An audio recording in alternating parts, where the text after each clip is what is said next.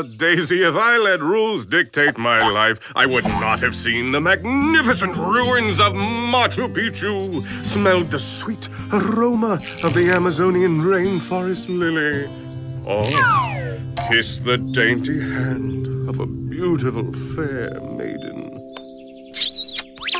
And this is where I say, Yes? So long, Toots! Thanks for the nuts! I'm never going back into that cage! Baby, I was born to run!